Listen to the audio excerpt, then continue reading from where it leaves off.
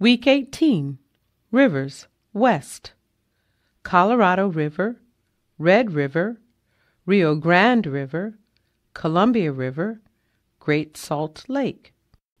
Week 18 Rivers West Colorado River, Red River, Rio Grande River, Columbia River, Great Salt Lake.